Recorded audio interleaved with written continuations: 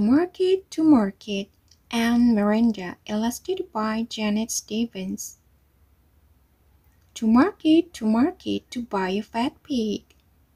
To market, to market, to buy a red hen. Home again.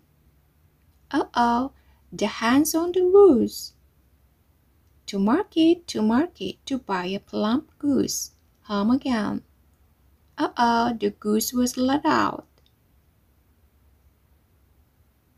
To market, to market, to buy a spring lamb. Home again. Uh oh, where is that lamb now?